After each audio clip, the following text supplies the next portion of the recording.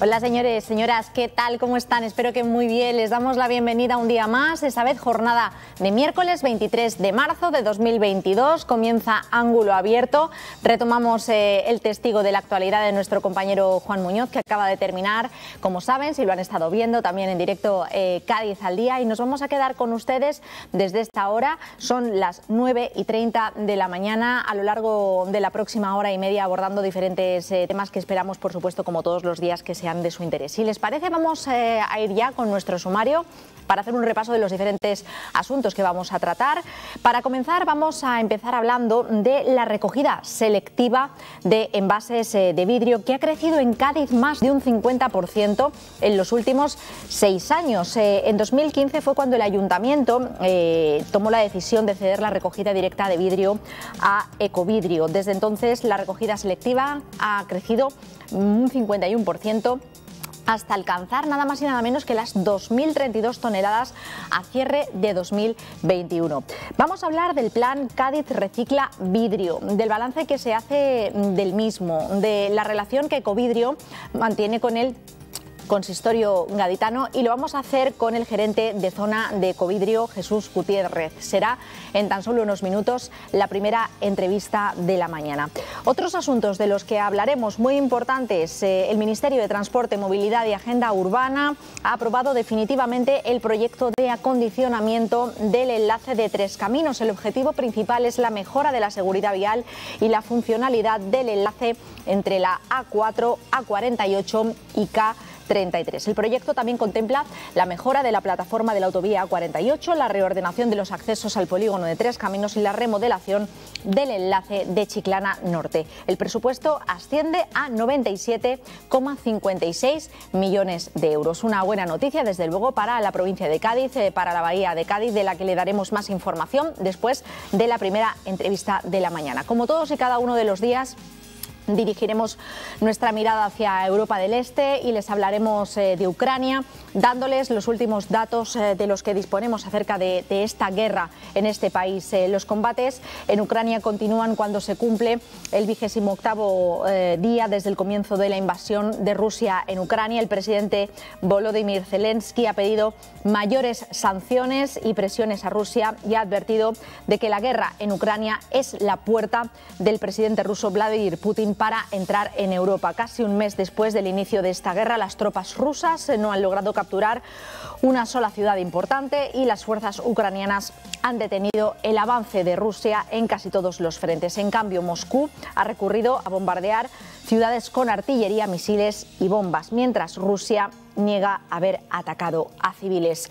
Es un resumen de los eh, temas eh, de los que vamos a hablar y eh, de los que les vamos a informar acerca de este conflicto armado en Europa del Este, una guerra que, que es un sinsentido y que nadie entiende y que continúa, desgraciadamente. Y también continúa la huelga del sector del transporte de mercancías. Hoy se cumple la décima jornada eh, de eh, esta huelga, de este paro indefinido de los transportistas de mercancías por carretera.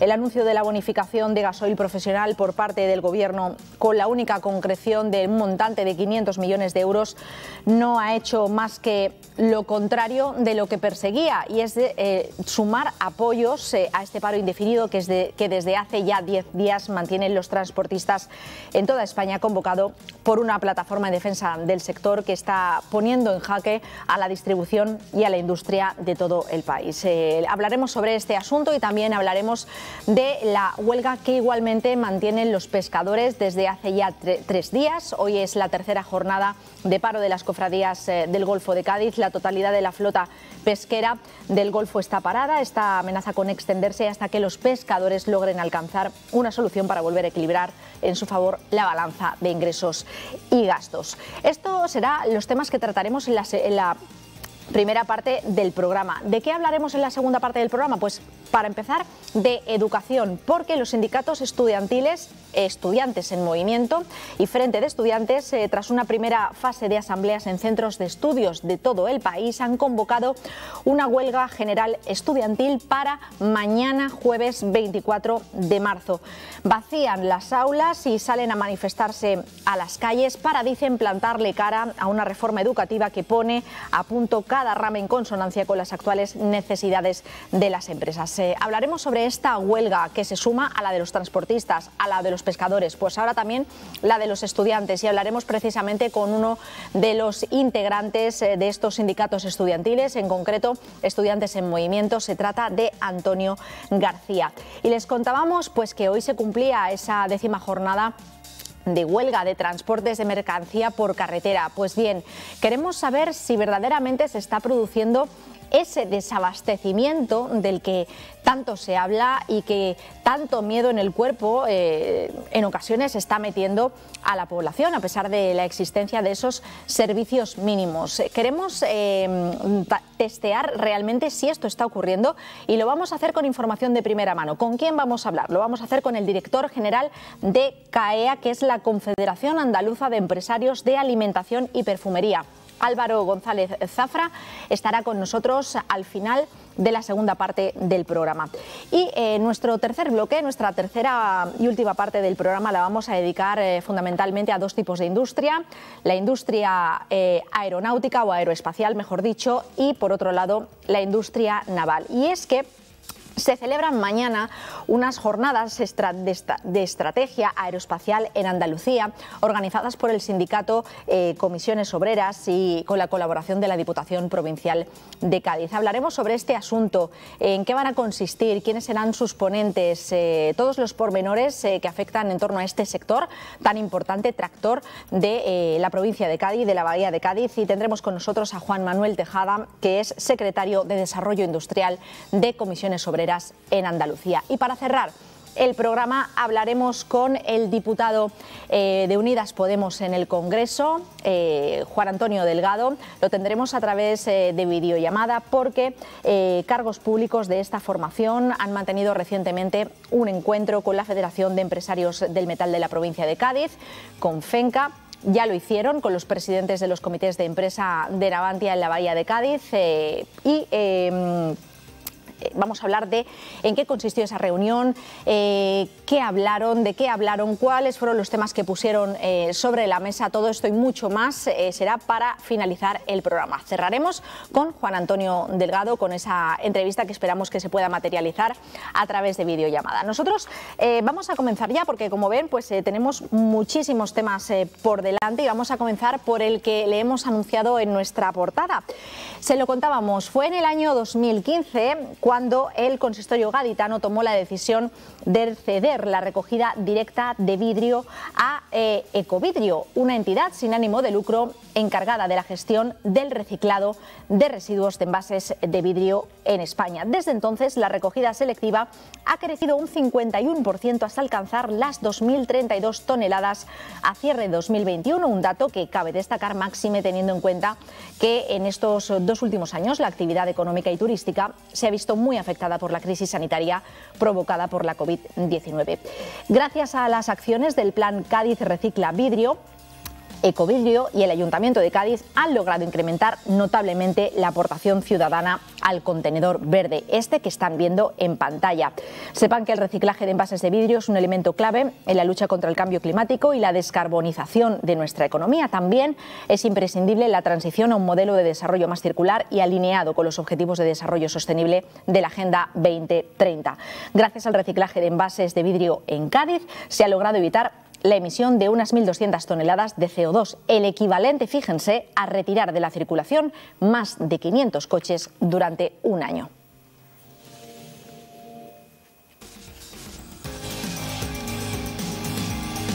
Hablamos de este asunto y lo hacemos con Jesús Gutiérrez, gerente de zona de Covidrio, al que saludamos. Muy buenos días, Jesús. Muy buenos días. Buenos días, bienvenido a Ángulo Abierto, encantada de saludarte y de tenerte con nosotros de nuevo en el programa. Eh, yo sí que estoy encantado de volver con vosotros, la verdad. Gracias, Jesús. Bueno, vamos a hablar eh, de este balance que vamos a poner sobre la mesa de los últimos años de esta labor que está realizando Ecovidrio, eh, entidad sin ánimo de lucro encargada de la gestión del reciclado de residuos de envases de vidrio en España, como he dicho en la presentación. ¿Qué balance realizáis de este plan Cádiz Recicla Vidrio? Pues tú ya lo comentabas antes y dabas ya algunas cifras. El balance es muy, muy, muy positivo. Eh, yo creo que hoy eh, estamos de enhorabuena y aprovecho directamente para felicitaros a todos, a todos los gaditanos, tanto los gaditanos que consumen en sus casas vidrio y lo echan al contenedor verde, como los gaditanos que gerentan negocios de hostelería, que también vamos a ver que es un sector muy importante para el reciclado de vidrio porque la verdad que, todos estáis muy alineados y, y, muy comprometidos con el medio ambiente al final. Eh, un balance, por lo tanto, positivo. Decíamos que se había, había crecido, se había incrementado en más de un 50% eh, la recogida selectiva de envases de vidrio en los últimos seis años. Y, echando la vista atrás, eh, Jesús, yo te quiero preguntar cómo ha afectado la pandemia, porque recientemente pues, bueno, se han cumplido dos años de la declaración del estado de alarma a consecuencia de la llegada de la COVID-19 y cómo ha afectado esta pandemia, estos 24 meses, a, a la recogida selectiva. ¿Lo habéis? Pues eh, eh, lo hemos notado, obviamente. Como hablaba antes, eh, sobre todo hay un canal muy específico que es el canal de la hostelería, que sabéis que ha sufrido mucho durante esta pandemia, con muchas restricciones, con muchos cierres, la falta de turismo, además una ciudad como Cádiz también lo, lo ha vivido.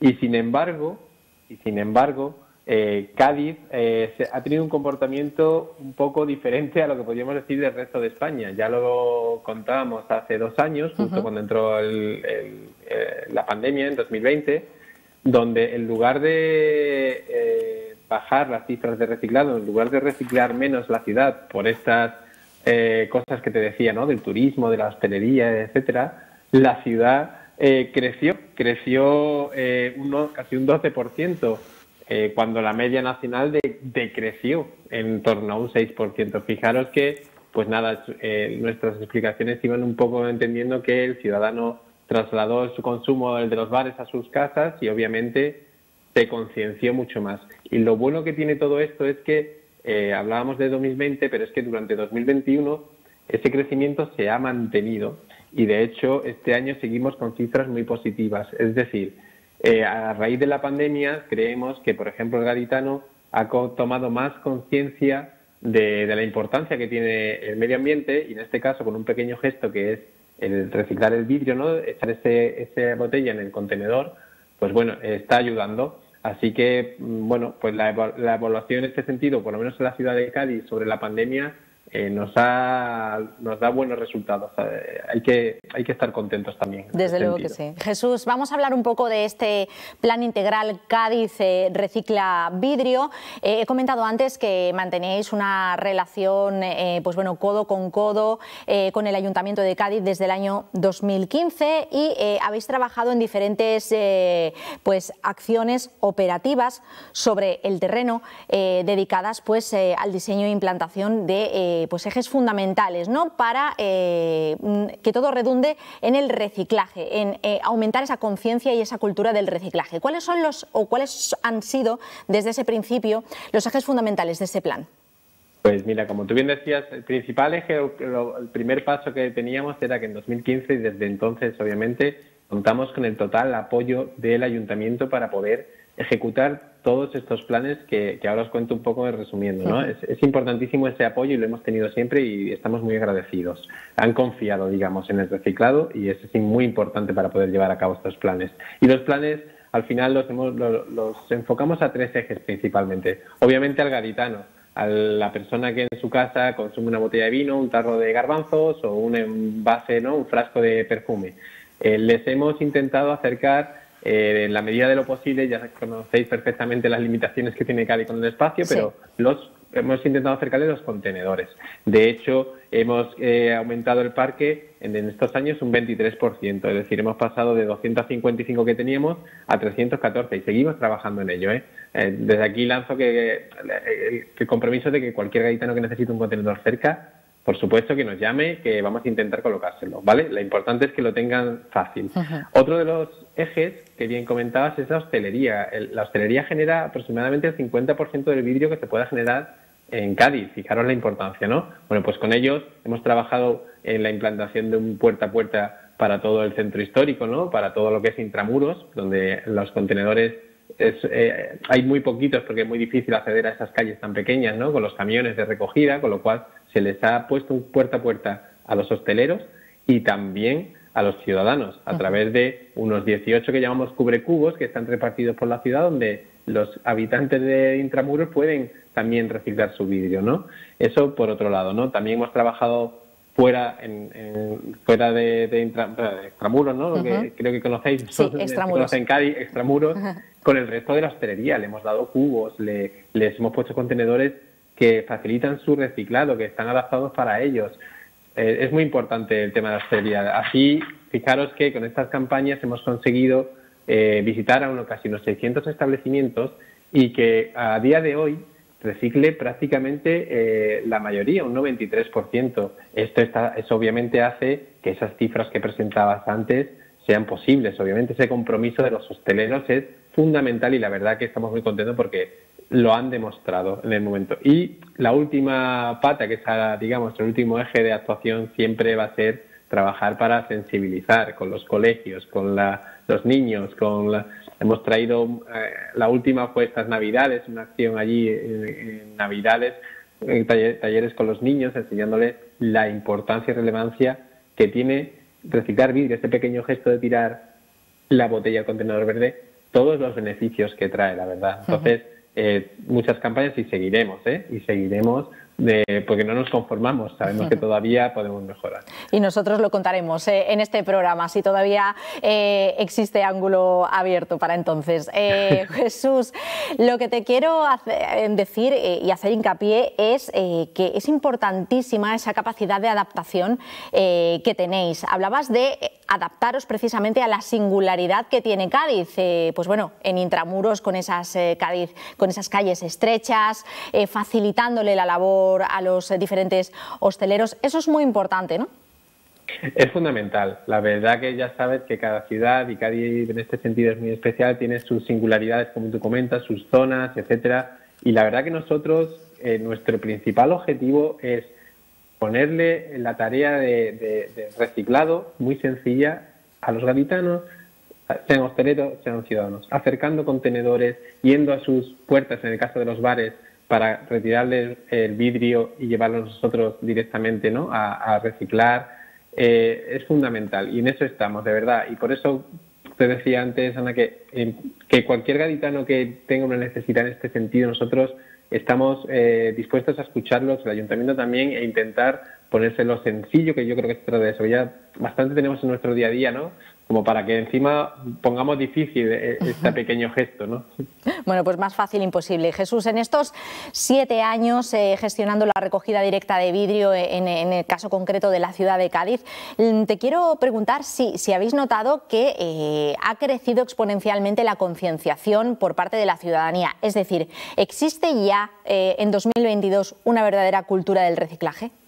Yo creo que en el caso, fíjate que en el caso de Cádiz sí podríamos eh, confirmarlo. Eh, y no es por una sensación, las cifras los lo avalan. Es decir, hablamos que en 2015 nosotros tenemos unos indicadores eh, de cuánto recicla cada gaditano, ¿no? En este sentido, por ejemplo, ¿no? Y en 2015 se reciclaban unos 38 envases al año, ¿vale? Bueno, pues ya a día de a 2021 ya tenemos que se reciclan unos 61 envases una media de 17,8 kilos cada habitante, que está muy acorde con la media nacional y muy por encima de la media andaluza. Por desgracia, Andalucía estamos a la cola. Hay ciudades donde se recicla eh, mucho menos, eh, bastantes ciudades por desgracia, pero sin embargo Cádiz sí que es de aquellas que son punteras en este sentido.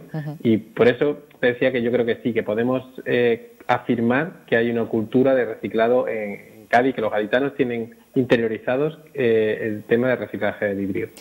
Pues Jesús Gutiérrez, eh, felicidades, enhorabuena por esta buena relación que mantenéis con el Ayuntamiento de Cádiz desde hace ya muchos años y por el trabajo eh, que realizáis desde Ecovidrio y cómo le facilitáis pues, la vida a, los gaditanos y a las gaditanas y al sector hostelero que, necesita muy mucho eh, pues ese tipo de facilidades, sobre todo después de esta pandemia que todavía estamos en ella, pero bueno, que ya la, ya la hemos atravesado casi al 100%. Muchísimas gracias por estar con nosotros. Gracias a vosotros como siempre, por este ratito. Un abrazo, Jesús. Hasta luego. Un abrazo enorme. Adiós. Hasta luego. Despedimos a Jesús eh, Gutiérrez, gerente de zona de, de, Covidio, con esta buena noticia, este incremento de la cultura del reciclaje eh, en la ciudad de Cádiz. Esperamos que siga aumentando año tras año.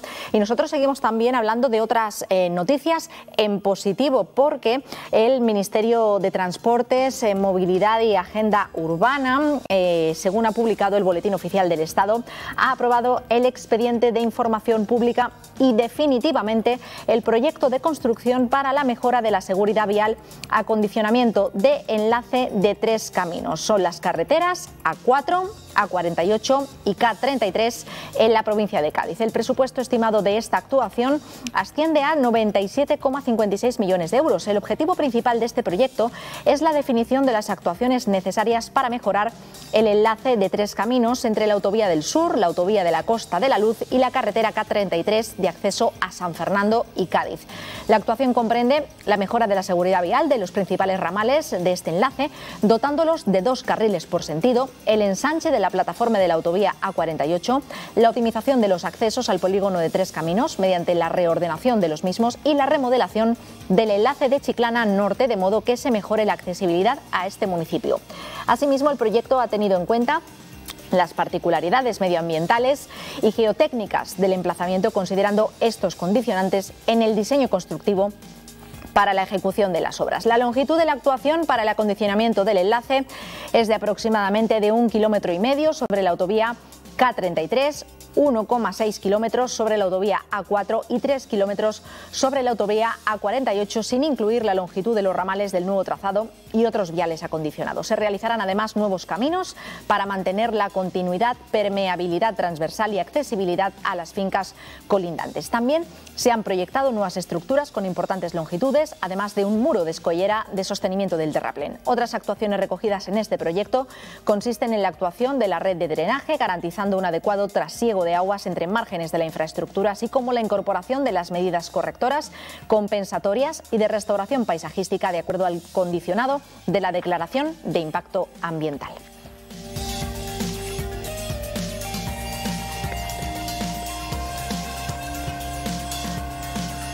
Y sobre este asunto eh, tan importante, esta buena noticia, se ha pronunciado el subdelegado del Gobierno en Cádiz, José Pacheco. Lo escuchamos. Pues como ya sabemos, el pasado 31 de enero se aprobó por parte del Ministerio de Transporte, Movilidad y Agenda Urbana el proyecto de construcción del nudo de tres caminos. Eh, bueno, esta aprobación suponía que con un presupuesto base de licitación que inicialmente se consideraba que podía ser de unos 80 millones, al final se ha aprobado este proyecto por un presupuesto de 97.564.450,16 euros. En el día de hoy ya este proyecto ha sido publicado en el Boletín Oficial del Estado y esto quiere decir, por un lado, pues que el proyecto tan necesario para la Bahía de Cádiz ya se puede licitar, una muy eh, importante noticia. Y en segundo lugar, bueno, vuelve a demostrar que el gobierno del presidente Sánchez apostó desde el principio por este proyecto y que tras un arduo trabajo administrativo, pues se ha conseguido desatascar un expediente que ya llevaba siete años eh, paralizados y que esperemos que pronto, bueno, pues podamos ver y, conocer la empresa que se encargará de la ejecución de la obra. Vamos con otros asuntos y fijamos nuestra mirada en el conflicto de Europa del Este, como todos los días. Eh, hablamos de la guerra en Ucrania. Eh, con unos últimos datos, al menos cinco centros carcelarios han sido bombardeados por Rusia.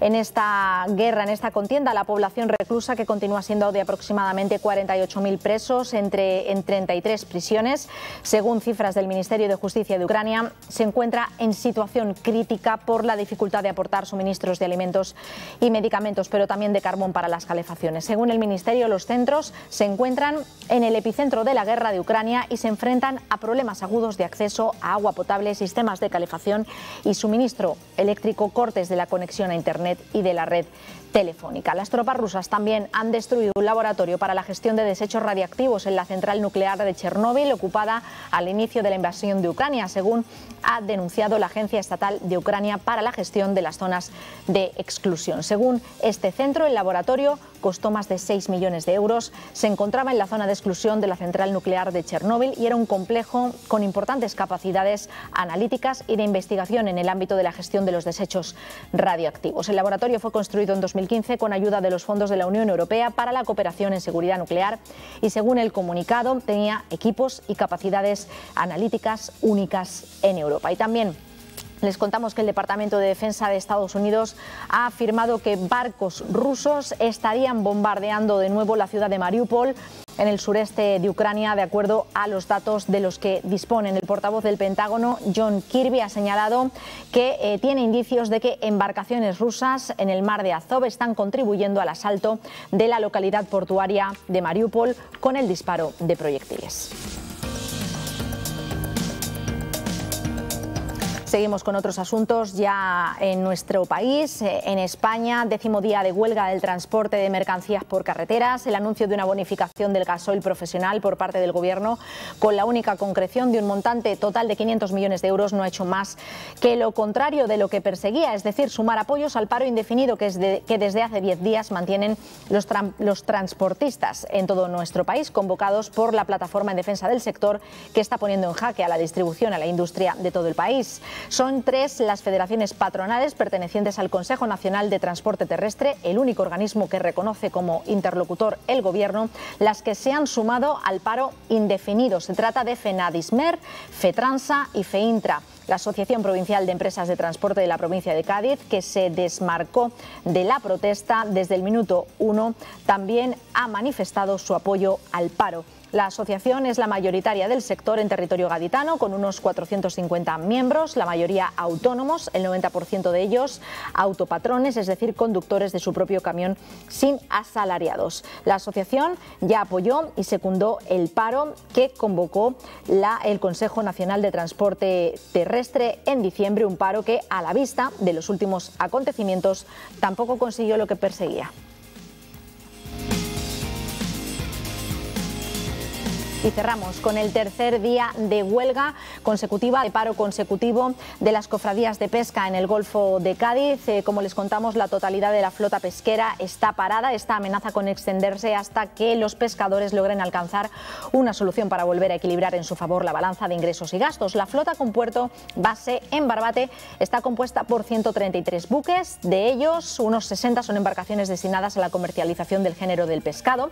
El puerto de Barbate es el segundo puerto andaluz en cuanto al número de embarcaciones registradas. Los buques con una antigüedad inferior a 15 años representan el 34,6 del total del puerto, elevando ese ratio al 51,1 en el caso de las embarcaciones con una antigüedad superior a 40 años. Cada año la lonja de Barbate suele comercializar una producción pesquera de más de 3.000 toneladas que pueden llegar a alcanzar un valor aproximado de 9 millones de euros. Durante el último año, cuatro especies como son la sardina, el pulpo de roca, el boquerón y el sable concentraron el 68% de la facturación. A nivel regional, la lonja barbateña se sitúa como la séptima según sus ingresos. Aproximadamente la mitad de los mismos proceden de los buques artesanales, siendo también significativas las modalidades de arrastre y cerco. El empleo directo generado por el sector pesquero en Barbate asciende a más de 700 trabajadores, 500 de los cuales son tripulantes de los barcos de pesca y los restantes trabajan en acuicultura marina. Barbate es la segunda localidad pesquera con mayor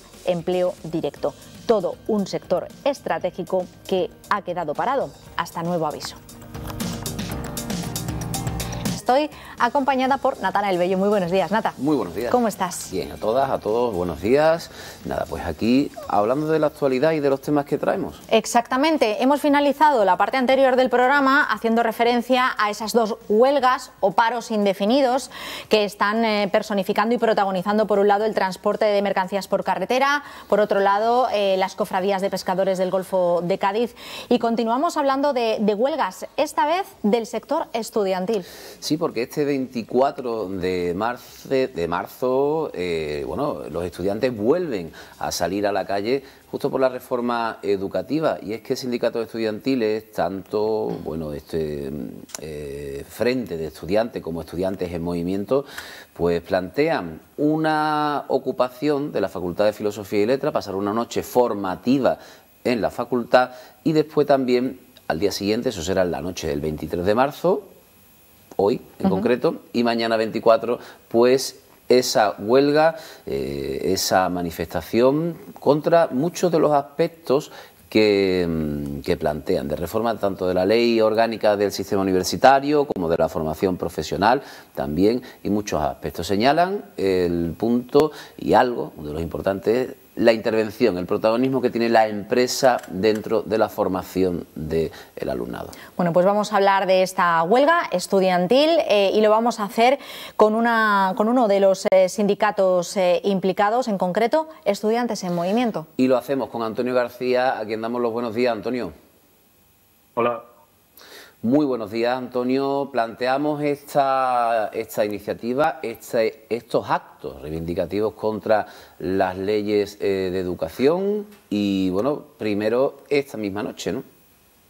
Sí, bueno, primero gracias por invitarnos y eh, por poner también en contexto estas movidas, eh, además enumerar los motivos que evidencian que, bueno, estamos en otra crisis del capitalismo, ¿no?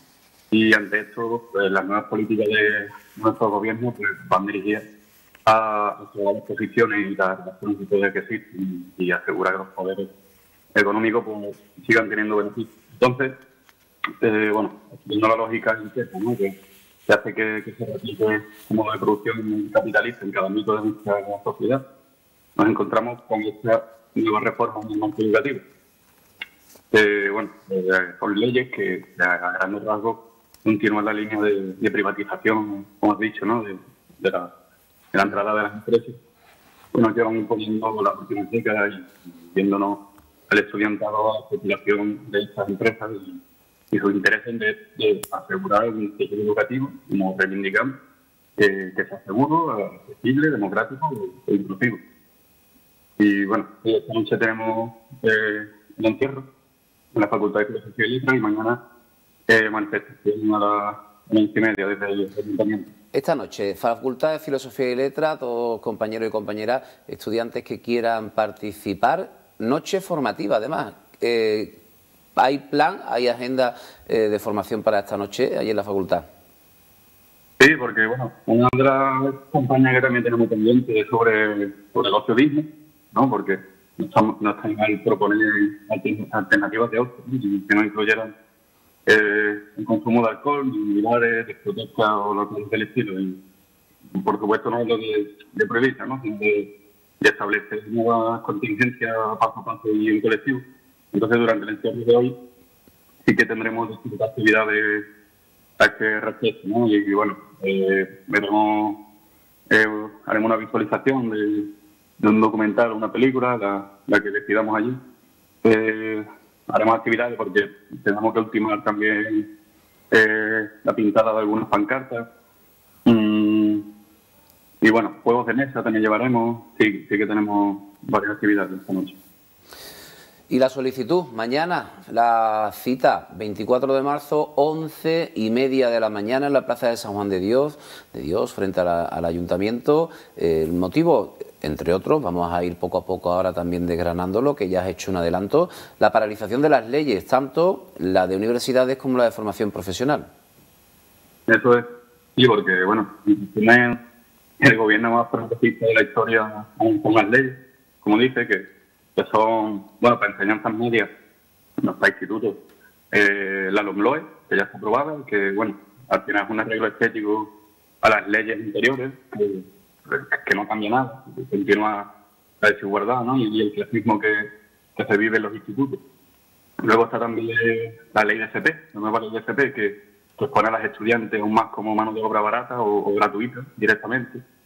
Y en universidades tenemos la DOSU, que refuerza el papel de las empresas, el papel también del Consejo Social, ¿vale? que, es un órgano que administra bueno, de, forma externa a la universidad y que de forma personal de la universidad y, por representación especial también, a la cual, de hecho, propusieron en esta ley aumentar el peso, dejando así en manos de empresarios cuestiones del centro como reparto de, recursos económicos o, demás toma de decisiones.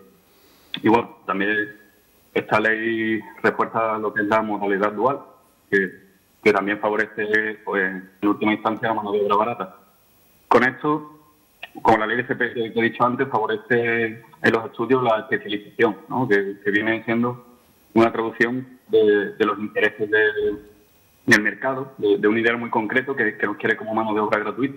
Y además, esta ley se blinda con, la ya aprobada Ley de Convivencia Universitaria, que, actúa como escudo ante, ante las protestas que, pueden organizarse ante esta reforma en cuanto a que refuerza lo que es la represión hacia, hacia el estudiantado y la criminalización de, la protesta legítima, como la queremos estos días, como la queremos esta noche y mañana, pudiendo practicarse con la expulsión o, con la revocación de, de matrícula incluso.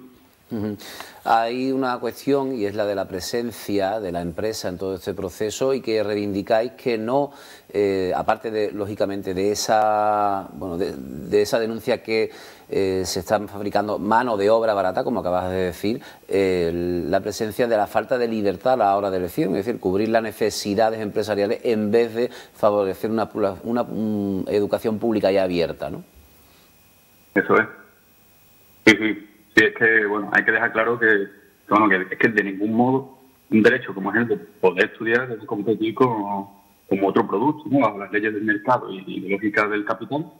Y, y, sí es eso, hasta que no consigamos una educación popular, ¿no? que el estudiantado tengamos un poder real de, decisión y que, bueno, que seguiremos presionando y, y organizándonos por ello.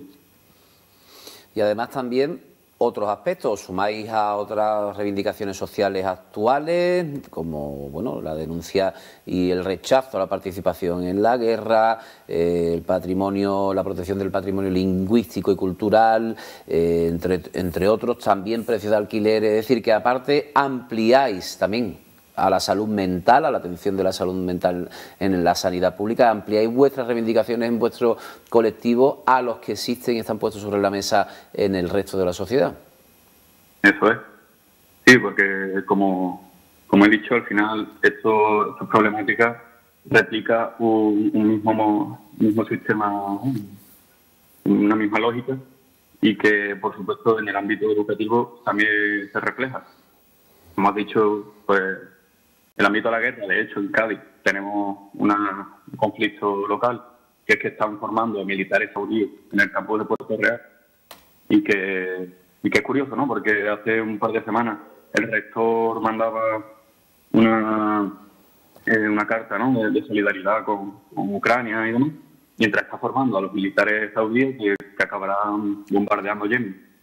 Eh, luego sí, también en cuanto al patrimonio lingüístico y cultural, de los pueblos, tenemos mucho que, contar aquí, y, también las medidas necesarias para, no tener que elegir entre estudiar o, pagar el alquiler, que, son mm, realidades que tenemos los estudiantes, que, son las condiciones materiales a las que nos vemos sometidas. Y, por supuesto, sí, la, atención pública a la salud mental que, y, que el acceso a terapia tenemos claro que debe ser gratuito y universal. Bueno, pues Antonio García, muchas gracias por estar con nosotros desde Estudiantes en Movimiento y con esas dos citas, primero esta noche, el encierro que vais a hacer en la Facultad de Filosofía y Letras para mañana a partir a las once y media estaréis en la Plaza de San Juan de Dios también con la manifestación contra las leyes de universidad y de formación profesional. Gracias por estar con nosotros. Muchas gracias. Me gustaría, me gustaría añadir una cosa, es que desde la AFP queremos denunciar también la complicidad de, la burocracia de, algunas facultades y de institutos, como es el IES San Severiano, que no permite la huelga a sus alumnas, como otros tantos que habrá, cortando así el derecho a hacerla con, con la excusa de protocolos internos que tienen. De acuerdo, pues dicho queda. Muchas gracias, Antonio, por estar con nosotros. muchas gracias. Vamos a cambiar, vamos a, bueno, a ir a otro tema también de actualidad. Y justamente vamos a hablar del el desabastecimiento de productos en supermercados, grandes superficies y mediana superficie, pequeña superficie. Lo vamos a hacer con la Confederación Andalucía de Empresarios de Alimentación y Perfumería.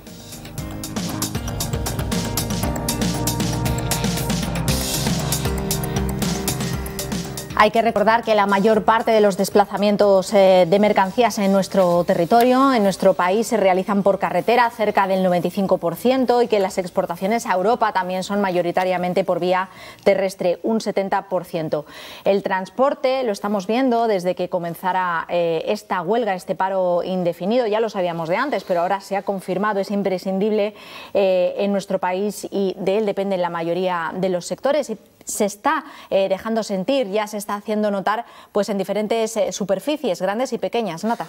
Y es que a distintos niveles y, y en diferentes escalas, porque hay muchas empresas, fábricas que están anunciando el cierre de producción Justamente, porque no tienen la materia prima necesaria para elaborar sus productos, es decir, no solo la distribución de esos productos, sino que ya en el origen eh, o alimentación, por ejemplo, los piensos para, para el ganado, eh, eh, ocurre con, lo has dicho, con, con, la cofradía, ¿no? con los pescadores en la provincia también justamente.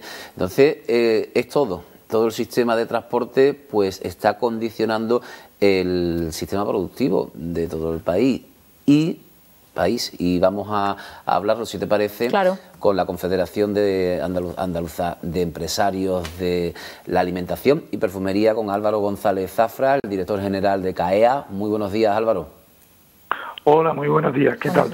Bueno, existe, existe preocupación, lógicamente, en el consumidor, en la ciudadanía, pero ¿cómo podemos vosotros, desde bueno, de, los, de las grandes superficies, de los supermercados, y, perfumería, ¿cómo podemos definir el momento en el que estamos viviendo? Bueno, pues un momento muy complicado, una situación muy delicada. Estamos ya en el décimo día eh, de huelga y cada día la situación se agrava más. Eh, y además es especialmente preocupante en Andalucía, que tiene unas particularidades concretas y este paro, que es un paro de ámbito nacional, está afectando especialmente a nuestra comunidad autónoma. Y, quizás a Cádiz, una de las provincias que más, inicialmente por la representación, la representatividad que tenía esta plataforma en la provincia de Cádiz, pero además, bueno, por sus eh, puertos y por la complejidad de la distribución comercial que tiene en general en nuestra comunidad autónoma. Somos una comunidad autónoma muy grande, muy extensa con más de 280.000 producciones en origen, tanto agrarias como ganaderas, como operadores pesqueros e industrias alimentarias, lo que dificulta en gran medida que salgan los productos de tantísimas producciones en origen y lleguen a las plataformas intermedias, a los centros mayoristas, que son los que a su vez distribuyen a los comercios minoristas y al canal Oreca.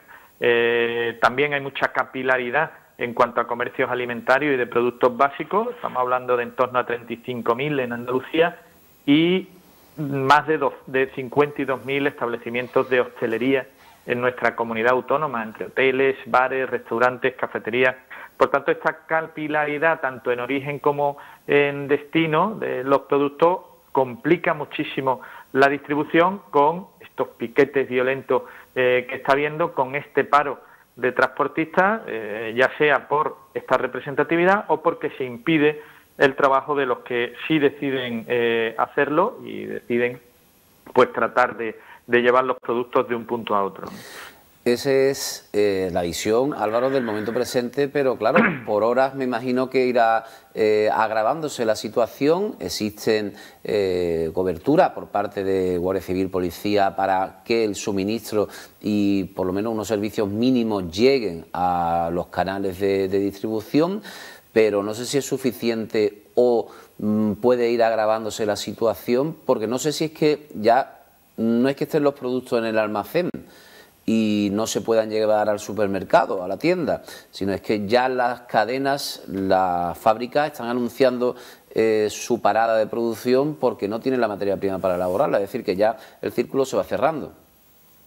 Efectivamente, efectivamente, esa es la gran diferencia con la primera eh, semana de huelga. La semana pasada todavía persistían eh, productos en los stocks de seguridad que tienen todas nuestras empresas, pero se van agotando con un problema añadido que comentas, que es que antes decíamos tenemos el producto, no nos dejan llevarlo donde tiene que estar, en esas plataformas intermedias que puedan a su vez repartir. Ya hay producciones en origen y industrias y transformación que han anunciado que paran porque no pueden seguir produciendo. Y es que a ellos, a su vez, no le llegan las materias primas necesarias para eh, producir, ya sea en forma de, cereales, de piensos para el ganado o eh, simplemente los envases de cartón, de plástico que necesitan para sacar los productos. Esto es más grave porque al parar producción, pues significa que de esos productos en un tiempo eh, determinado, pues no habrá. Con lo cual, cada día que pasa se agrava más. Nosotros hacemos llamamiento al consumidor, por una parte, de tranquilidad y moderación. Se han incrementado exponencialmente las ventas por un acopio extraordinario del consumidor que no hace sino agravar la, problemática. Los productos son perecederos en la mayoría de los casos y, bueno, pues eh, esperemos que se reconduzca y que pueda seguir fluyendo esos productos, pero de nada sirve hacer un acaparamiento extraordinario porque más al contrario agrava más la, situación. Lo que sí alertamos y no nos cansamos de pedir al Gobierno es una solución urgente y ya, eh, tanto para restablecer el correcto funcionamiento de la cadena y que cesen los actos violentos que sigue habiendo y de extrema gravedad y que impiden que el que quiere trabajar pues pueda hacerlo y impiden que eh, podamos desarrollar nuestra obligación de garantizar el abastecimiento, que estamos hablando de productos alimentarios y básicos de primera necesidad, y por otra parte también buscar soluciones a los problemas de fondo.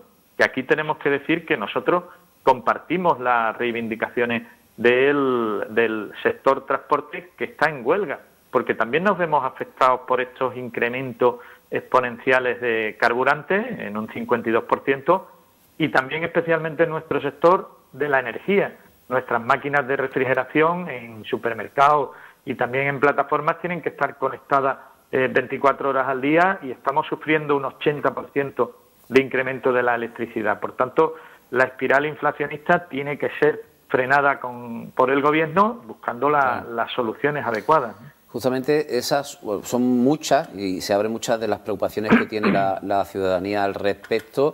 Una de ellas es la subida de precios también, cómo está afectando al bolsillo la situación. Ya venía de antes, factura de la luz, eh, mucho, toda la producción se encarece por muchos factores.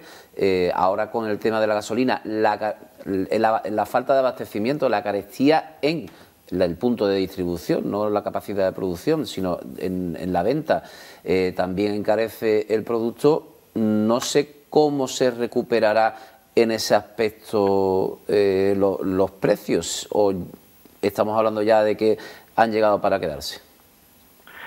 Bueno, eh, es cierto que en alimentación la inflación también está ahí. En el último IPC del mes de febrero se situaba en el 5,6%, eh, lo que sí tenemos que decir es que es bastante por debajo del IPC general, que estaba en el dos puntos superior, en el 7,6, y que este IPC en alimentación se ha resistido eh, hasta los dos, tres últimos meses, que ya se ha visto sí un, pico de incremento y de, inflación. Eh, nosotros en ese sentido lo que podemos decir es que la mayor garantía de que los precios en alimentación van a subir lo menos posible es la máxima competitividad que hay entre cadenas y enseñas de distribución. Eh, hasta ahora se han estado absorbiendo esos eh, incrementos de costes desde el primer eslabón, el eslabón de la producción, el eslabón de, industria, transformación, el transporte, a base de márgenes eh, propios. Pero llega un momento en que no es posible. Aún así, ya digo, está bastante por debajo del IPC general por una razón muy sencilla, porque eh, hay un tanto por ciento de la población que en este contexto de crisis lo está pasando eh, mal. Eh, todavía no hemos salido de la crisis económica que lleva aparejada la pandemia. Estamos en una tormenta perfecta que el ciudadano de a pie sufre también esos incrementos de, del carburante y de la energía y de la electricidad. y por tanto el que suba precio en un lineal se expone a perder cuota de mercado. Ese es lo que hace que eh, se suba lo menos posible, que haya mucha competitividad. Eh, lo único que sí es verdad que paralelamente traslada mucha tensión comercial a la cadena precisamente para ajustarse al máximo a costa de márgenes eh, propios y para ser lo más competitivo posible. Hablamos de, bueno, de paralización, del comienzo de paralización de algunas industrias por falta de materia prima. Álvaro, en el caso de que, imaginemos, se llegara a un acuerdo con, el Gobierno, se terminará el paro de, por parte del sector del transporte. ¿Cuánto tiempo se tardaría, si ya hay fábricas que están sin productos, sin poder fabricar, en recuperar la normalidad?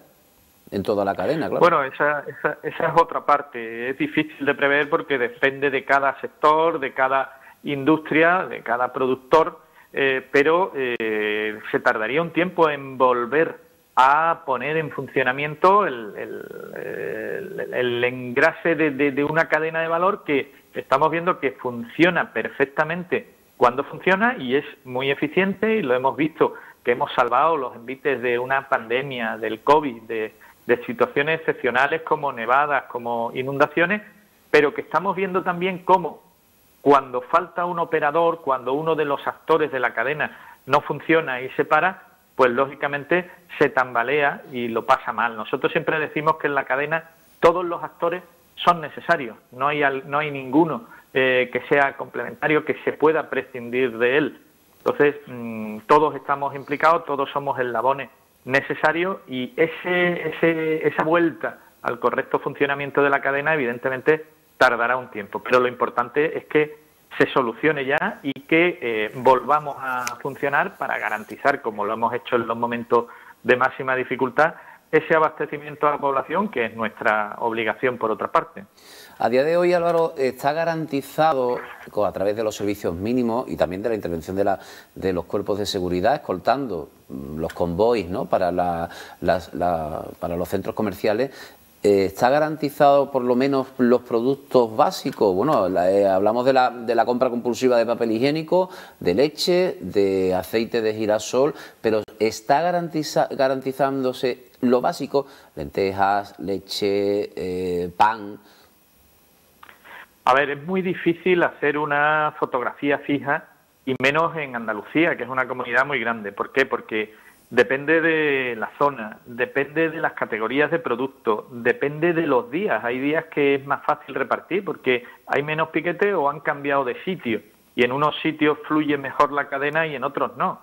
Lo que es cierto es que la distribución comercial está buscándose la vida literalmente para hacer su trabajo, sorteando estos eh, piquetes, yendo a buscar los productos a los proveedores en origen en colaboración con esta empresas que agradecemos estos esfuerzos también de los, de los proveedores, sorteando también movilizaciones de marcha lenta, adaptando las carencias de determinados productos a productos alternativos, pero es difícil hacer una eh, fotografía fija. Incluso depende también de, lo, de, las enseñas o de las empresas y de las distintas estructuras de, de distribución que tengan. Hay empresas más verticales que eh, que controlan más a sus proveedores y todos los eslabones de la cadena y están funcionando más fácilmente y otras que dependen de centros mayoristas y de eh, el reparto por parte de estos centros mayoristas y ahí bueno pues sí nos preocupan especialmente más las zonas rurales donde hay una o dos tiendas solo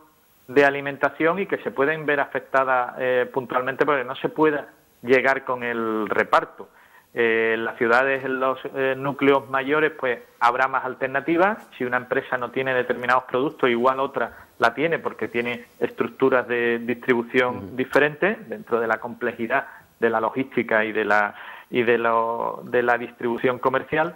Pero lo que sí es verdad que, hombre, ya están empezando a escasear determinados productos, sobre todo los perecederos, los productos frescos, la leche, especialmente. Eh, también hay mucha dificultad para sacar la leche de, los puntos de origen de la ganadería. Aceites y, viene también de la invasión de Ucrania el aceite de girasol, harina, azúcar y bueno, pues fruta, verdura, hortaliza, carne y sobre todo pescado, que es que paralelamente eh, está parada también la flota pesquera por las mismas reivindicaciones. Por tanto, la tormenta es perfecta. Hombre, aquí sí podemos decir, eh, el suministro alimentario está garantizado. Lo único que igual eh, tenemos que cambiar los hábitos puntualmente, si no hay determinados productos, buscar alternativos. Es decir, tampoco podemos llamar a la alarma ni a la eh, no vamos a pasar hambre, eh, está garantizado, mm, habrá que buscar alternativas si no hay en unas enseñas, en otras, pero igual pues tenemos que buscar otros productos o cambiar de hábitos durante un tiempo porque puntualmente pues no lleguen los productos que habitualmente consumimos. Dos cuestiones más, eh, Álvaro, y te agradecemos que nos estés respondiendo. Eh, estamos hablando, y lo decía el propio presidente de la Junta de Andalucía, Juan Manuel Moreno, de 600 millones de pérdidas hasta el momento en la cadena de producción y transporte y venta. ¿Cómo van, salen los números? ¿Cómo lo veis desde dentro? Bueno, pues muy mal, muy mal. Y este impacto ya lo sufrimos en el anuncio de, huelga y de paralización que hizo las plataformas que sí son representativas y están en el Comité Nacional de Transporte en diciembre, que sirvió para que el Gobierno tomara una serie de medidas, pero que ya impactó eh, de lleno en toda la cadena de, distribución y sufrimos unas pérdidas importantes. Ahora esos 600 millones en la cadena están eh, eh, contabilizados en la primera semana, ya se ha incrementado bastante más y nuestras empresas están teniendo que eh, afrontar unos sobrecostes muy importantes porque están teniendo que buscarse la vida literalmente, como os digo, para sortear la difícil situación actual, yendo a buscar los productos a origen. Eh, el impacto es muy negativo en, unos, en un sector que ya viene azotado, como digo, por esos incrementos de costes y que está mm, tirando de márgenes propios que son de por sí y en momentos eh, normales muy, muy, muy reducidos. Nosotros en nuestro sector de distribución estamos hablando de unos márgenes de entre el 2 y el 3%. Es decir, que te queda un margen de cada euro vendido de 2 céntimos o 3. Con lo cual, eh, el impacto es muy negativo y lo que más nos preocupa, eh, corren peligro 100.000 puestos de trabajo que por no poder producir, por no poder llevar a cabo el trabajo, pues tengan que irse a su casa hasta que se restablezca la situación. Pues muchas gracias Álvaro por estar con nosotros desde CAEA, desde la Confederación Andaluza de Empresarios de Alimentos y Perfumería. Están grandes supermercados, grandes cadenas de supermercados donde podemos ir a diario. Gracias por estar con nosotros. Muchísimas gracias a ustedes y un saludo. Un saludo. Bueno, pues compañera, queda ahí la situación que es de máximo interés para, para nuestra audiencia. Interesantísima entrevista. Gracias, Nata. Nos marchamos a publicidad, vemos eh, unos minutos de información comercial y volvemos enseguida. Hasta ahora.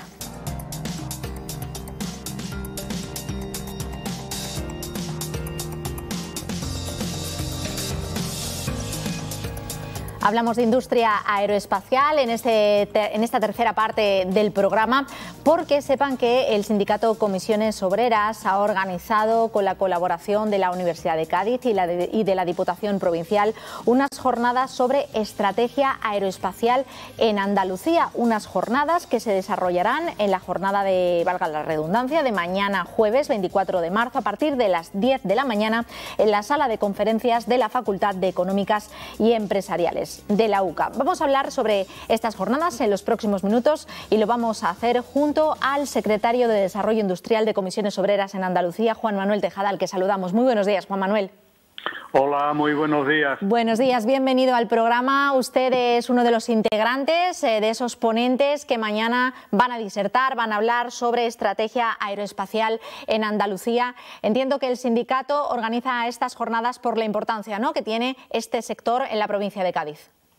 Eh, efectivamente, eh, organizamos estas jornadas de presentación de la estrategia aeroespacial de Andalucía 2021-2027 y lo hacemos precisamente en Cádiz porque la joya de la corona de la industria manufacturera en Cádiz es sin duda el sector aeroespacial y el diamante de la corona es Airbus en, Cádiz.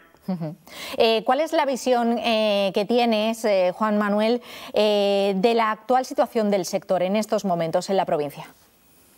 Bueno, la actual situación del sector en la provincia es, en, en este momento es de expectativa, que digamos, digamos que eso lo comparte con el conjunto del sector a nivel mundial y a nivel de europeo y a nivel de país, porque obviamente eh, las distintas crisis que se han venido sucediendo han tenido un impacto. Lo que sí está claro es que incluso con todas esas incertidumbres, el sector este desde que nació siempre ha crecido, la ha superado con nitidez y, y, siempre ha crecido a un ritmo de un 5% anual. Y hoy ya las previsiones después de la crisis COVID sitúan las expectativas del sector en los mismos términos que estaban antes del COVID. Lo que no es medible es qué va a suceder con la guerra. Eso es una nueva incertidumbre. eh, Juan Manuel, hablabas y te referías a Airbus como la joya de la corona. Desgraciadamente, hace relativamente poco asistíamos a ese cierre de la planta puertorrealeña eh, de Airbus. Te quiero preguntar, como secretario de Desarrollo Industrial del sindicato, ¿cuál es el posicionamiento del sector eh, aeroespacial andaluz en el mundo en estos momentos? Bueno, la posición, la posición del sector aeroespacial andaluz con respecto a lo sucedido en este caso en la reestructuración eh, en Cádiz, pues eh, sigue siendo en la misma línea. Hay una, eso ha supuesto la solución a una situación de crisis que se planteaba y que se ha resuelto de momento, porque todavía continúan el desarrollo de la de las negociaciones se ha resuelto de momento con un acuerdo que garantiza el empleo de Airbus y las inversiones y la carga de trabajo de Puerto Real trasladadas al CBC, pero con la incertidumbre, obviamente, de eh, qué va a contener esas instalaciones del centro de Puerto Real que quedarían vacías cuando termine el proceso y una valoración muy nítida y muy clara eh, en función con lo que hemos planteado en la estrategia aeroespacial de Andalucía, la pérdida de capacidad, la pérdida de un centro de trabajo de Airbus, que yo no he definido a Airbus como la joya de la corona, la he definido como el diamante de la joya. La joya es el sector y la pieza más valiosa indiscutiblemente es Airbus. Y eso no es una buena noticia. Eh, en estas jornadas que se desarrollan, como decimos, mañana a partir de las 10 eh, de la mañana en la UCA, en concreto en la Facultad de, Económicas y Empresariales, en su sala de conferencias se van a abordar diferentes temas eh, con diferentes ponentes. entiendo que también se hablará pues, del reto de la digitalización ¿no? y de la industria 4.0 en el sector industrial. Sí, se hablará en, el apartado que corresponde de la estrategia aeroespacial al conjunto de eh, medidas que se tienen que desarrollar. Y hay una muy importante que está directamente relacionada con esas actividades, con las cinco actividades eh, tecnológicas que deben de contener el Centro de Fabricación Avanzada de Cádiz, este del que tanto hablamos desde el año 2016 y que eh, ha pasado por una fase seria de dificultad y ahora parece que está en una, en una situación de, bueno, de poderse eh, materializar. De todas formas, ahí también hay incertidumbres que aparecerán mañana en la jornada y esperemos que haya quien, quien dé respuesta en, en el coloquio, eh, dé respuesta, porque hay un, digamos que hay un plantel importante de, personas del sector, de colectivos del sector, desde el ámbito empresarial, desde el ámbito universitario y desde la propia Consejería de Transformación de Andalucía, que me imagino que aportarán datos que nos vengan a dilucidar eh, cuál va a ser la concreción y el contenido del Centro de Fabricación Avanzada de Cádiz, que tan importante es no solo para la industria aeroespacial en Cádiz, sino también para la industria naval y otras otras industrias manufactureras. Bueno, pues estaremos muy pendientes. Son muy interesantes estas jornadas y muy apropiadas, muy de actualidad en estos momentos. Eh, Juan Manuel Tejada, muchísimas gracias por atendernos.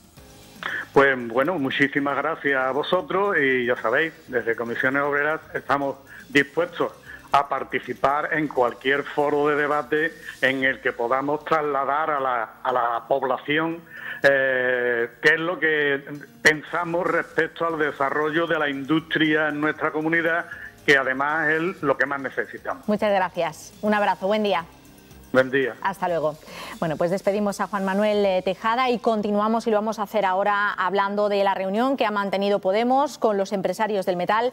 Unen fuerzas eh, para eh, conseguir mayor carga de trabajo y reforzar la formación profesional.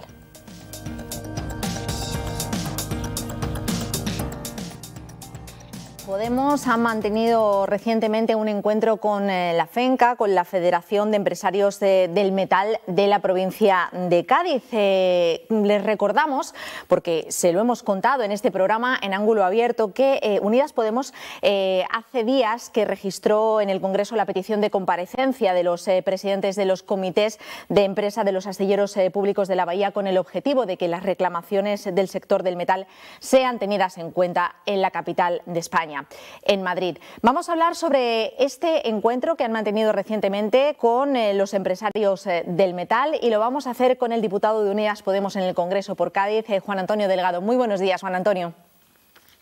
Hola, buenos días, ¿qué tal, Ana? Encantadísima de saludarte, te doy la bienvenida al programa y vamos a charlar durante unos eh, minutos sobre este asunto porque prosigue eh, la ronda de contactos que estáis manteniendo eh, pues desde el partido volcados en una industria tractora para la provincia de Cádiz y para la bahía de Cádiz como es la industria del metal. Iniciasteis esta ronda de contactos con los presidentes del comité, de los comités de empresa de Navantia en la bahía de Cádiz y ahora lo habéis hecho con los empresarios del metal, con la patronal. Y lo que te quiero preguntar para comenzar esta entrevista es qué asuntos son los que habéis abordado en este encuentro, Juan Antonio.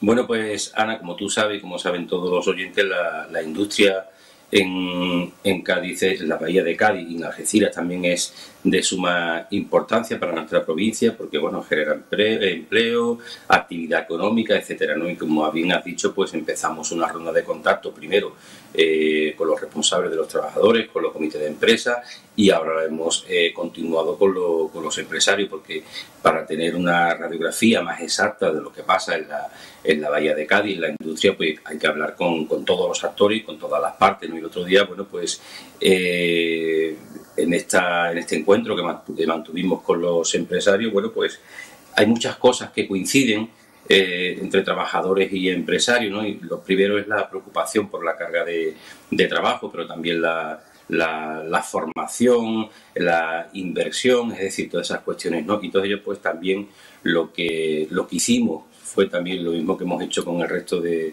de con todos los comités de empresa, es trasladarles nuestra eh, propuesta de invitación de que vengan al, al, Congreso de los Diputados a exponer ellos mismos, porque además así también lo hemos hecho con, no solo con los comités de empresa de los bachilleros, sino incluso con otros colectivos, con otras eh, en la provincia de Cádiz, ¿no? bueno, que, vengan, que sean ellos mismos los que vengan al Congreso de los Diputados, que es donde se toman muchas decisiones importantes, en este caso para la, industria, a nivel de los presupuestos generales del Estado, de normativa, etcétera, y que expliquen ellos mismos sin, sin mediadores ni, ni, nada, sino que expliquen aquí en el, en el, Congreso pues la situación de la industria de la bahía de, de Cádiz y que, que, lo puedan hacer ellos mismos. ¿no? Juan Antonio, ahora mismo estamos viendo en imágenes eh, precisamente pues ese momento de el encuentro que mantuvisteis no con los no con los empresarios del metal, sí con los presidentes de los comités eh, de empresa de Navantia en la bahía de Cádiz. Tenemos esas imágenes de, de recurso que bueno eh, las hemos puesto porque vienen al caso, aunque hoy hablemos de esa reunión eh, con FENCA.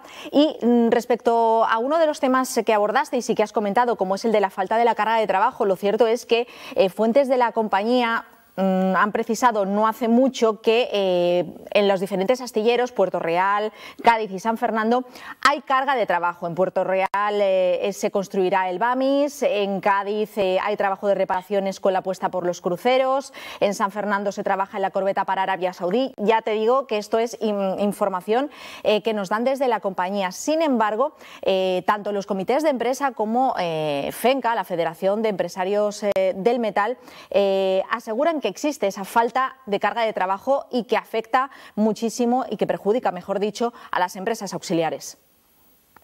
Claro, es decir, no es que la, la, la, los tres astilleros, en este caso, estén eh, parados totalmente. Claro que hay carga de trabajo, lo que pasa que, bueno, que lo que coinciden ambas partes, tanto empresarios como eh, los comités de empresa, es la preocupación por el mañana. Es decir, ellos ya están pensando en que este trabajo que tienen ahora, pues le queda poco algunos, otros no, tal, y están pensando en un futuro. No se trata de del hoy, sino el futuro de todo lo que es la industria de la, de la bahía de Cádiz. Entonces, bueno, esa es la preocupación principal. Efectivamente, como dice, hay trabajo. Además, el, gobierno de coalición progresista pues también está invirtiendo. De hecho, en los últimos presupuestos, Cádiz fue la quinta provincia en la que, en la que obtuvo mayor eh, inversión en los presupuestos. La quinta provincia de toda España. Es decir, que hay una apuesta decidida y clara del gobierno de coalición progresista eh, en el caso de la bahía de, Cádiz con la, con la industria. ¿no? Pero esto no quiere decir que tengamos que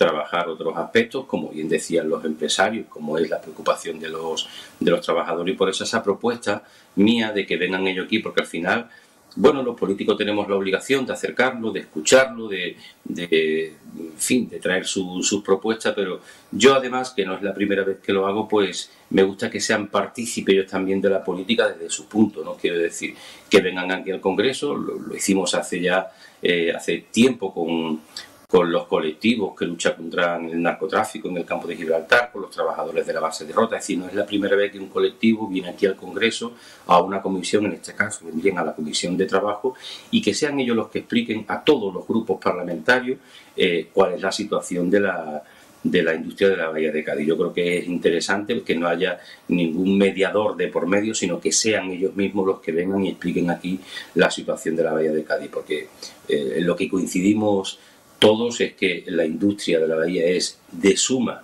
importancia. Cádiz no se puede permitir el lujo de perder ni siquiera un puesto de trabajo ni de perder cargas de, trabajo, sino que tenemos que trabajar pues para que cada vez haya más, eh, más carga, que, que no haya eh, esa preocupación constante de los trabajadores de que cuando acabemos este barco a ver qué pasa, ¿no? sino que, que apostar eh, por el futuro de la industria, que es una, una, industria puntera, como me han explicado además las dos partes. te hablo de las coincidencias de trabajadores y de empresarios, ¿no? que tenemos unos astilleros punteros de tecnología en muchas cuestiones y por lo tanto eh, Cádiz, en este caso, pues la industria tiene que sonar fuerte en el Congreso de los Diputados y esa es mi propuesta para ello, que han, la han aceptado de, de buen agrado. ¿no? Me alegro. Juan Antonio, otro punto importantísimo en el que también pues, eh, están de acuerdo todas las partes es la necesidad de, formación. Y en este caso eh, pedís o, ponéis sobre la mesa la necesidad de reforzar la formación profesional. Y en este caso mm, se pone la pelota también en el tejado de la Junta de Andalucía, ¿no? Claro, es decir, es que aquí eh, hay muchos actores. El gobierno central tiene una serie de competencias, la Junta de Andalucía tiene otra serie de, competencias. Yo creo que es que hay que aunar todas las administraciones para, para, que, para el bien de la, de la industria de la bahía de, de Cádiz. Claro, si Juanma Moreno, que está en, en otras cosas ¿no? y que ya sabemos su, su política de privatización de lo, de lo, público, del poco interés que tiene por lo, por lo público, lo hemos visto con lo, con los sanitarios, lo hemos visto con otros colectivos, ¿no? entonces, bueno, pues yo creo que el señor Juanma Moreno se, se tiene que dejar de poner de perfil y que que arrime el hombro y que vaya a la Bahía de Cádiz, que hablen con los trabajadores, lo mismo que he hecho yo como responsable político, que es mi obligación, que no, haya hecho, no es que haya hecho algo eh, que no me corresponda, sino ir allí, dar la cara, porque para eso me han, elegido los gaditanos. Pues eso es lo que tiene que hacer el señor Juan Moreno, que se deje de dar tantos paseitos con Feijó, para Madrid, para allá, para acá, y que vaya donde se le necesita en Andalucía, en este caso, eh, que se reúna con los comités, que se reúna con los empresarios y que se ponga las pilas y empiece ya a, presentar propuestas en lo que se refiere en materia de, formación, porque, insisto, y además, tal como has dicho, es una preocupación importante la formación, la diversificación, en fin, todas esas cuestiones que unifican criterios entre, entre todas las partes. Y la formación, como, como hemos dicho, es de vital importancia. ¿no? Si al final nos decían los empresarios, bueno, es que falta mano cualificada en, en esta parte, no sé cuánto, todo eso es muy importante, ¿no? Juan Antonio, desde hace muchos años, yo ya ni me acuerdo, eh, se habla de abandono institucional en materia de industria de la provincia de Cádiz y eh, no vamos a hacer referencia a una u otra administración, simplemente abandono institucional. Eh, ¿Cómo se puede revertir esto? efectivamente es otra cosa, casualmente, en lo que coinciden pues todas las partes, ¿no? De hecho, siempre ponemos el mismo ejemplo que cuando hablamos de Felipe González en la Bahía de Cádiz, pues la gente se echa a temblar, porque fue en el momento cuando empezó ese abandono institucional, el no apostar por la industria de la Bahía de Cádiz, ¿no? Y yo le he preguntado a unos a otros, ¿por qué creéis que, en fin, que, que se ha producido este abandono, ¿no? Bueno, pues, pues hay muchas, muchas tesis, muchas políticas de apostar por el norte de Europa, en fin, nosotros quedarnos en otro punto, y eso hay que empezar a revertirlo. Han empezado, o sea, ha, comenzado con la inversión, porque al final todo esto se soluciona con, con dinero, ¿no? Y en estos presupuestos, pues yo creo que han sido eh, generosos y necesarios eh, para la provincia de Cádiz. Como te he dicho antes, yo creo que el dato es importante, ¿no? Es la quinta eh, provincia con mayor inversión eh, en ese sentido. Entonces, bueno, pues hay que poner a la Bahía de Cádiz, en este caso concreto, a la provincia de Cádiz, porque también ha sido abandonada institucionalmente en otros aspectos, ¿no? Pero hay que poner a la provincia de Cádiz en el punto de, en el centro de atención ¿no? y por eso es importante pues que vengan aquí los trabajadores que vengan los empresarios y que expliquen de primera aquí a Europa y a donde haga falta es decir nosotros vamos a apoyar a todos los en, para que estén en todos los sitios que sean necesarios, para que expliquen de primera mano, con datos, con cifras, con números, con ejemplos, eh, las necesidades de esta provincia y ponerlo en el centro de atención para que, para que se acabe ese olvido y ese abandono institucional. Eh, Juan Antonio, otro mm, punto importante, otro tema importante que no sé si se abordó en, ese, en esa reunión que mantuvisteis con los empresarios del metal, con FENCA, es eh, pues la aprobación de ese PERTE naval eh, por parte del Gobierno central, esos 1.460 millones de euros de inversión, 3.100 puestos de trabajo que se podrían crear. desde luego que desde FENCA, cuando apareció esa noticia de que se había aprobado, Mm, mandaron una nota de prensa, un comunicado a los medios de comunicación eh, valorándolo muy positivamente y esperando que fuera un revulsivo para el sector eh, del metal, para esta parte de la industria, para la bahía de Cádiz. Eh, ¿Confiáis en ello, en que lo será? Confiamos que lo será y tiene que ser, además, ¿no? la, apuesta, como he dicho, de, este gobierno, y de, yo hablo por Unidas Podemos, es clara, fuerte y contundente con la, con la provincia con la provincia de Cádiz. ¿no? Lo hemos visto en el presupuesto, es decir, esto no son palabras, son hechos concretos. Es decir, porque aquí podemos venir a decir qué vamos a hacer, que estamos preocupados, perdón, que estamos preocupados, pero la realidad es que cogemos los presupuestos y hay una inversión importante para la, provincia de Cádiz, tenemos los, los PERTE, también tenemos, eh, en fin, otras iniciativas, los próximos presupuestos y, desde luego hay que poner a la provincia de Cádiz en el lugar que siempre estuvo, en el lugar que se merece, en lo que se, en lo que se refiere a industria, en fin, a a construir barcos, a hacer lo que hemos hecho mm, desde hace cientos de años y lo que sabemos hacer mejor y además lo que tenemos un prestigio, me decían los empresarios, que tenemos un prestigio a nivel internacional, es que aquí trabajamos y trabajamos bien, Entonces, bueno, pues eso hay que ponerlo en valor y eso hay que repetirlo y eso hay que ir donde haga falta, al Congreso, a Europa, tal, y por supuesto después en los presupuestos que se vean reflejados y también, como hemos dicho antes, que la Junta ponga de, ponga de su parte, ¿no? Es decir, que es importante esa formación en la que tiene una responsabilidad importante el señor Moreno Monilla. Yo sé que ahora, como digo, está con, sus cosas, con Feijó y menos pendiente de Andalucía, pero es importante que se ponga las pilas y que, y que entre todos, y que entre todos unamos esfuerzo para que la provincia de Cádiz salga de ese ninguneo, de ese abandono institucional que deje de ser la provincia donde tenemos las poblaciones eh, con menos recursos, más pobres de España. Estos son los datos que salen, que cualquier persona lo puede ver y en el lugar que se merece, porque eso es.